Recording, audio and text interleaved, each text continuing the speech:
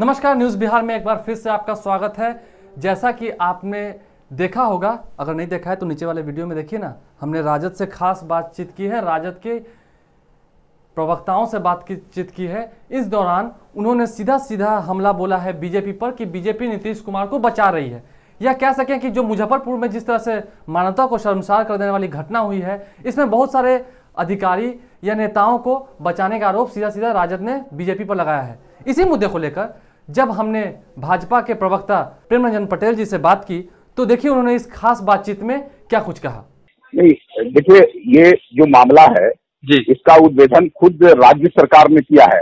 जी। तो जैसे ही पता चला कि वहाँ गड़बड़ी हो रही है जी। तो सरकार ने सोशल टाटा सोशल साइंस के माध्यम से सोशल ऑडिट कराने का काम किया। उसकी जब रिपोर्ट आई और रिपोर्ट के आधार पर जब गड़बड़ी पर पाई गई तो एफ़ किया गया उसके ऊपर उस स्वयंसेवी संस्था के ऊपर। तो ये सरकार ने खुद जो है उस पर कार्रवाई किया है। विपक्ष के लोगों का मांग था कि सीबीआई से जाँच कराई जाए। सरकार ने तुरंत सीबीआई से उसको सुपुर्द करने का काम किया। तो इसमें विपक्ष के लोग आरोप लगा रहे हैं वो उनका बेबुनियाद है। वो बोल रहे हैं कि आप- खुद आप आप दबाव में तमाम मामलों में उद्भेदन करती है और उद्भेदन के बाद रिपोर्ट को खुद जो है उसके खिलाफ कार्रवाई भी करती है। जी वो बोल रहे हैं कि आप दबाव में आकर के तब जाँच करा रहे हैं नहीं तो आपका जाँच कराने का मन नहीं था। नहीं विपक्ष का मांग था सीबीआई से जाए और हमने सीबीआई को दे दिया। तो। इसमें जो है दबाव का क्या बात है? उनका ये भी आरोप है कि सीबीआई तो बीजेपी अमित शाह ये सब की कठपुतली है जैसा वो नचाएँगे वैसा सीबीआई नाचेगी।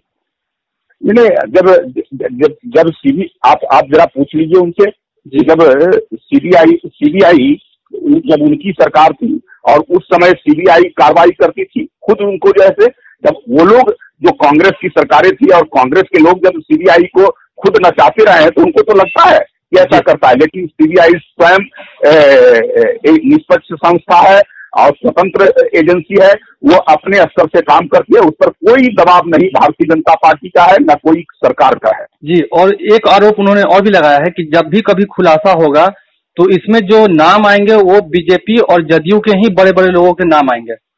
जिनके भी नाम आएँगे उसमें कोई अंतर नहीं पड़ने वाला है। क्यों नाम आएँगे अगर भारतीय जनता पार्टी के होंगे जदयू के होंगे कानून सम्मत उन पर कार्रवाई होगा कोई बख्शे नहीं जाएँगे। कोई भी व्यक्ति हो किसी पार्टी का व्यक्ति हो जो भी इस जघन्य घटना को अंजाम देने का काम किया है जो भी इस कुकर्म में भागीदार होगा उस कोई भी बक, बकसे नहीं जाएँगे।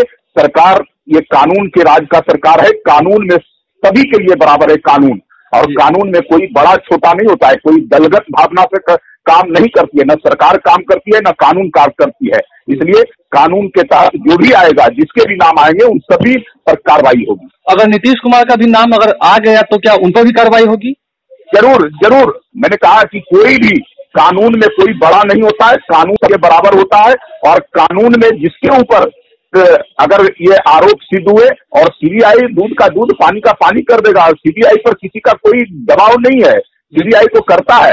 और जरा पूछिए उन लोगों के जो लोग आरोप लगा रहे हैं कि लालू के बनाए हुए सीबी सरकार थी केंद्र में और उस समय सीबीआई ने चारा घोटाला का उनके ऊपर मुकदमा किया था। तो बताइए उन्हीं के बनाए प्रधानमंत्री के समय में उन्हीं के बनाए सरकार के समय में सीबीआई अगर सीबीआई पर अगर उन्हीं के बनाए प्रधानमंत्री के दबाव में आकर करके काम किया है तो मुझे कुछ नहीं कहना है लेकिन हमारी सरकार में सीबीआई के ऊपर कोई दबाव नहीं है सीबीआई स्वतंत्र रूप से काम करती है जिसका भी नाम उस घटना में आएगा उसके ऊपर कार्रवाई होगा। एक आखिरी सवाल आज राजद ने और माले लोगों ने बिहार बंद का आह्वान किया था। क्या ये बिहार बंद सफल हुआ है?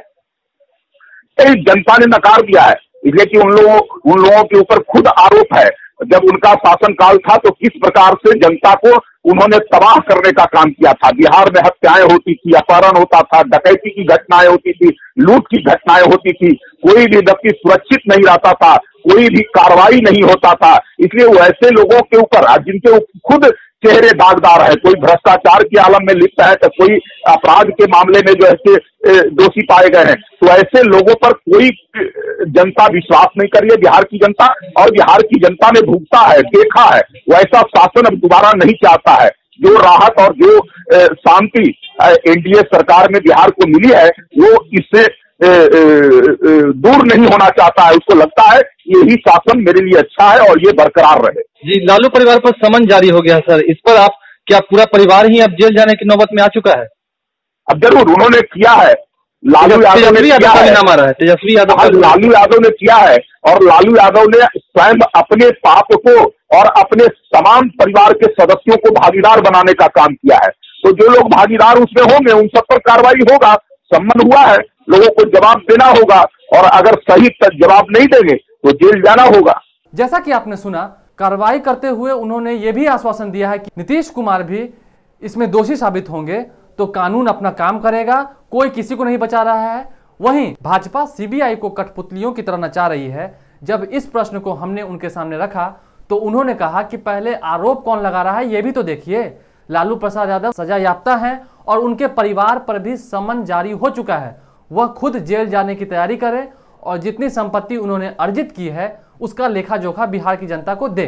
वहीं बिहार बंद को असफल बताते हुए उन्होंने कहा कि जनता इनको जान चुकी है। दोबारा मौका देना तो दूर की बात है, जनता इनकी तरफ़ देखना भी मंजूर नहीं करेगी।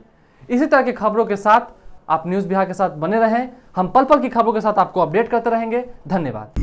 हमारे फेसबुक पेज को लाइक करें ट्विटर पर फॉलो करें न्यूज़ बिहार लाइव और साथ ही साथ हमारे यूट्यूब चैनल को सब्सक्राइब करें। सब्सक्राइब करने के बाद बेल आइकन दबाना ना भूलें। धन्यवाद।